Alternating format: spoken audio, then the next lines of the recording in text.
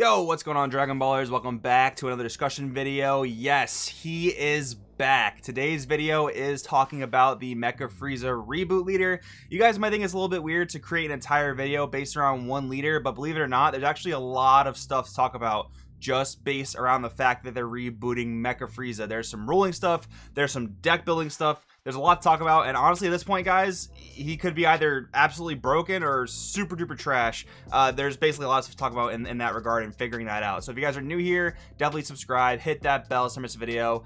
If you want to help the channel out, go down in the description, use my link to TCG Player if you want to buy or pre-order any of the cards you see in today's video. If Mecha Frieza ends up being broken, then you might want to go down to that link and pick up some cards for the deck, but we're going to parse that out in today's video, guys. So that being said, let's just get started. So let's just say you're new here Dragon Ball Super, and if you guys have been playing for a long time, bear with me for just a minute here, but I'm going to just basically give you a, a brief recap of why this leader is being rebooted and what made it so broken in the first place. So what you see on the screen here, this card effect text for Mecha Frieza is its original pre-errata text. The original Mecha Frieza leader is currently errated and does, does something different. But firstly, what it does here is when you activate an extra card, you can take a life instead of paying its energy cost. That's the effect on both sides. But then on the back side, you can basically reduce the cost of a two cost extra card or less and uh, make that cost zero, right? So in the format this deck dominated, it was pretty much the only deck you could play uh, with a, with a confident ability to do well. Like yes, people played other decks, of course, during Mecha Frieza format, but really there was just one event where Mecha Frieza ran an absolute monk. That was the San Jose Regional out in California. This leader actually came out in Draft Box uh, one or two. I think it was Draft Box one. Yeah, it must have been Draft Box one.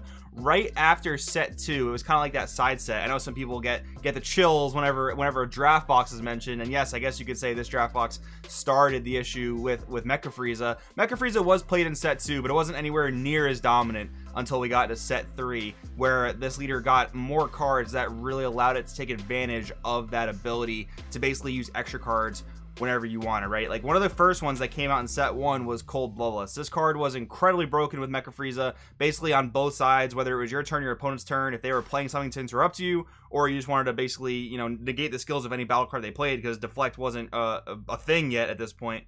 So with that in mind, you're able to do that for free, and you're able to play other extra cards like Planet Vegeta, like Encouraging Presence Monaka. Most of you guys probably wouldn't even know what that card is, except for the fact that now, you know, Set 10 Zamasu plays that card, which is kind of cool. That card came back into relevancy because no one thought that card would ever be playable again after Mecha Frieza. But basically, in, in those decks, those cards were oftentimes coined as Pot of Greeds. Basically, you play the extra card, you get a life, so that's your first draw, and then you get a card from the deck, either drawing or searching in the case of Planet Vegeta. That was your other plus in terms of like the, the Pot of Greed joke, right? And this deck, of course, was incredibly broken with Sand Team Cabba and also Mecha Frieza Apes. This is also complemented very, very much so by Unwavering Solidarity Shugesh, a super combo that is currently on the Dragon Ball Super Forbidden and Ban list. That card basically allowed you to super combo if your leader was yellow. You got to play a three cost or less sand from your hand, completely ignoring energy costs. So uh, there was definitely it was definitely an amalgamation of, of, broken cards, that's for sure. I mean, Shugesh would later on become banned after Mecha Frieza got errated, so it kind of showed you that that card in and of itself was an issue. But Mecha Frieza was just so powerful that they decided to errata the leader and pretty much errated its unplayability, which no one really complained about because the leader was just way too broken in the first place. So basically, the errata was this. Basically, you could only use this effect during your opponent's turn to pay life to activate extra cards and i believe on the on the unawakened side they added a, once per turn clause to that which on the uh, awakened side i don't think they uh, they added that. So basically they neutered leader into unplayability and one of the main reasons the leader also became unplayable was because uh, most leaders on the unawakened side going into set four and beyond they gave most leaders the ability to actually draw on that front side. So you know, now that you couldn't awaken on turn one, which with pre Mecha Frieza, uh, pre Errata Mecha Frieza rather, you could awaken on turn one with a combination of Planet Vegetas and uh, Encouraging Presence Monakas. So that turn one awaken allows you to get your draws really, really early, as where you know set four onward they started printing leaders that could draw on their unawakened side. So basically, being errated as unplayability as well as sort of being power crept, but if the leader was kept at full power, he would have been vastly, vastly strong going into at least like sets four and five, and then who knows from there. It's actually kind of funny if you take Mecha Frieza and unerrata him and put him in today's format. I'm not even sure if he if he does all that much, especially without Shugesh, because the way aggro is right now, you're gonna get pressured so hard on turn two, turn three that uh, I don't know if you necessarily want to be taking all that life super early with extra cards, especially if you fill your deck with extra cards. Let me know in the comments below what you think about that. But anyways, now that we're past like the regular Mecha Frieza stuff, let's talk about the new leader. So we're going to read the new leader here and we're going to explain this really crazy ruling thing that either makes it really, really good or absolutely unplayable. So let's take a look. So Unawakened, permanent, you can only activate extra cards from your hand once per turn. Permanent, when activating a mono yellow extra card from your hand, you may add one card from your life to your hand.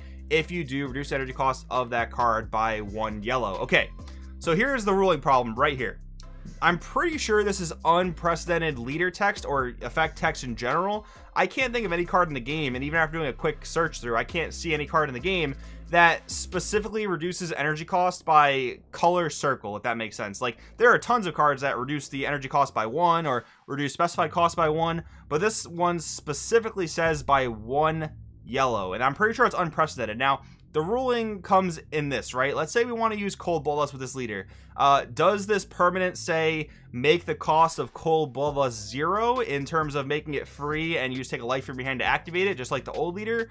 Or does it say you're only reducing the specified cost by one yellow? If you're reducing the specified cost by one yellow and not reducing the total cost, then Cold Bloodlust just costs one generic uh, energy, right? It doesn't cost uh, zero energy. It costs one generic. So you could pay like a green, a red, whatever for that Cold Bloodlust. That's what is uh, being disputed right now. As of today, as at the time of recording, uh, there hasn't been a definitive answer yet. I kind of think they're intending it to make the cost zero. But again, I don't know their intention. We're gonna have to wait to see like a, a Q&A I've seen arguments for both ways that again this is unprecedented skill text. In this text it specifically says reduce the energy cost. Normally they differentiate from energy cost and specific cost but when you're looking at reducing one yellow exactly a lot of times that can be construed as specified cost. So it's very very uh, confusing there. Basically if it reduces the cost to zero it's very very good. If it reduces the cost to one colorless that's going to be very, very bad. Uh, that's just probably going to be unplayable because, you know, taking a life to, to pay one colorless for Bloodlust or pay one colorless for Planet Vegeta, I don't know. That's it's going to end up being uh, pretty costly in my opinion. But who knows? I could be totally wrong about both these scenarios. It could still be good if it only reduces specified cost. We'll have to kind of wait and see. But anyways, let's get on with the rest of the effect here. So when this card attacks, draw one. That's basically, you know, what a leader like this needed. You, you have to be able to draw on your front side unless you have some other type of insane abilities that kind of make up for that later on. This leader gets to draw, which is nice. Awaken, untap one, draw one, always solid. And then Mecha Frieza, the, I can't even read what that says, Resurrected Monarch. So permanent, when activating a mono yellow extra card with energy cost of two or less from your hand, you may add one card from your life to your hand. If you do, activate that card without paying its energy cost. So this side, this side of the effect is far more clear. This, this side of the effect basically just tells you, take a life, use the card for free, you're good to go, my guy. Like it, it, basically tells you exactly what it what it's intended to do, and the front side is very very different. So I can understand why that ruling context is is very misconstrued there. Hopefully we get an answer on this stuff very very soon.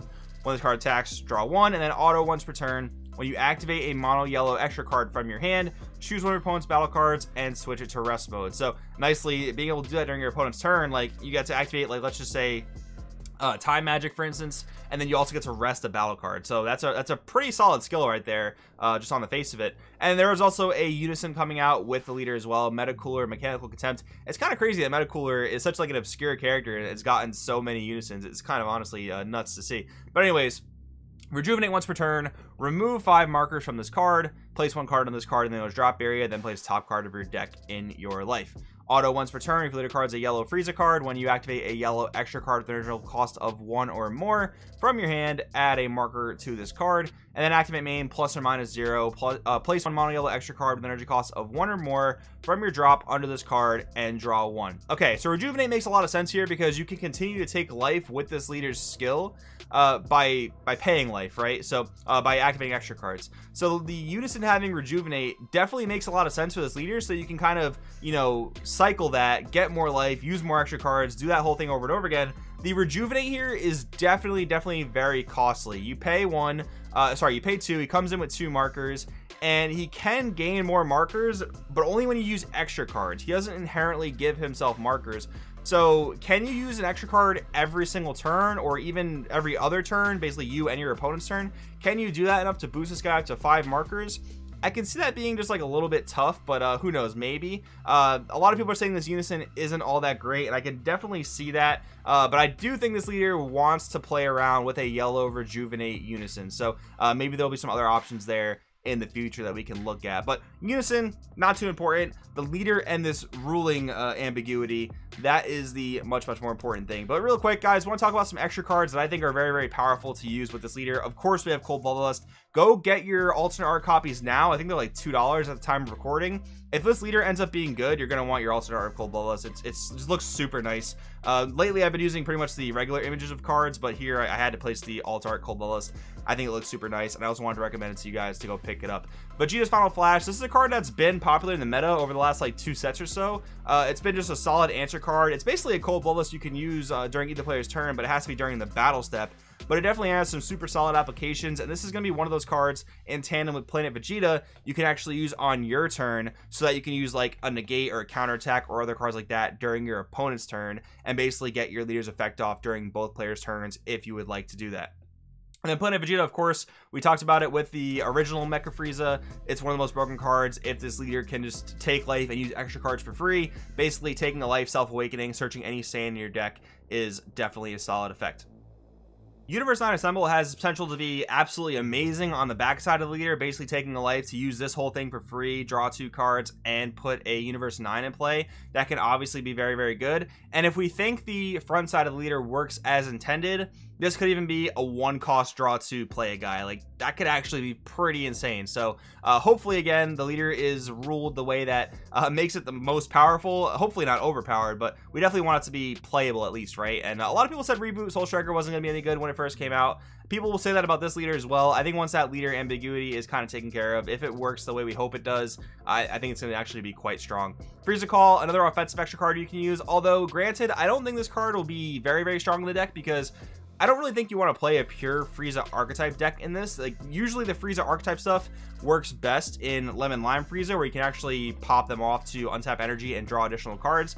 This leader doesn't quite give you that same type of synergy. So I think you're probably gonna be better off with a card like Planet Vegeta. Uh, but who knows? Maybe if there is like a good mono yellow Frieza archetype. I'd also I also don't think the stuff that coming out in set 12 I don't think works great with uh, reboot Frieza either because that seems to be tied specifically to like you know turning your life up and down which i think only pretty much that leader pretty much handles. But anyways giant ball amazing extra card. It's always been a, a, pretty much a direct upgrade to crusher ball basically also drawing a card on top of tapping a card.